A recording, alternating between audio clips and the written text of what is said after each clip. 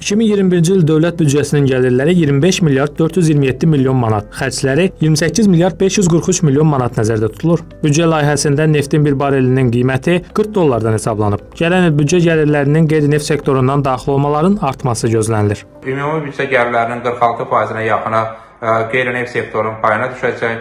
Ə, Eyni zamanda qeyri-neft sektorundan daxil olmalarda 2020-ci illə müqayisədə ə, 15% artım qeydə alınacaq ki, bu da qeyri-neft sektorunun büdcə gəlirlərinin formalaşmasında payının artması anlamına gəlir.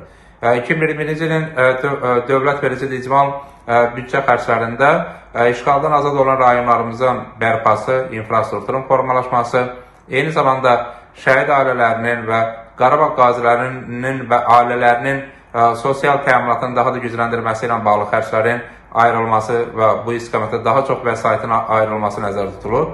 Gələn ilin büdcəsində işğaldan azad olunmuş ərazilərin bərpası və yenidən qurulması məqsədi ilə 2,2 milyard manat vəsaitin ayrılması nəzərdə tutulub. Bundan başqa, işğaldan azad edilmiş yaşayış məntəqələrinin bərpası və vətəndaşlarımızın doğma torpağa qayıdışı ilə bağlı proqram və layihələrin həyata keçirilməsi üçün məqsədli maliyyə təminatının yaradılması və müvafiq maliyyələşmə mexanizminin tətbiqi planlaşdırılır. Həmin ərazilərdə iqtisadi fəallığın artırılması üçün stimullaşdırılma tədbirlərinin, vergi və digər güzəştlərin dövlət özəl sektor tərəfdaşlığının həyata keçirilməsi, həmçinin də şəhid ailələrinin və müharibə əlillərinin sosial vəziyyətinin yaxşılaşdırılmasına yönəldilmiş güzəşt və imtiyazların verilməsi nəzərdə tutulur. 2021-ci ilin dövlət büdcəsi ə, qələbə büdcəsidir və bu büdcə ə, ərazi bütövlüyümüzün tam bərpası ə, kontekstində hazırlanan və işğaldan azad olunan rayonlarımızın yenidən qurma, və eləcə də iqtisadi inkişafı nəzərdə tutan büdcədir. O baxımdan biz ə, 2021-ci ildə qələbə büdcəsinin icrası fonunda həm də sosial təminatın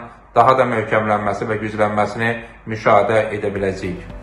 Gələn ilin dövlət büdcəsində müdafiə və milli təhlükəsizlik sahəsinə 4,6 milyard manata yaxın vəsaitin ayrılması nəzərdə tutulur. Bu, cari ilin büdcəsində olandan 20,5% çoxdur. Gələn ilin əsas maliyyə sənədində pandemiyanın nəticələrinin aradan qaldırılması üçün tədbirlərin davam etdirilməsi də nəzərə alınıb.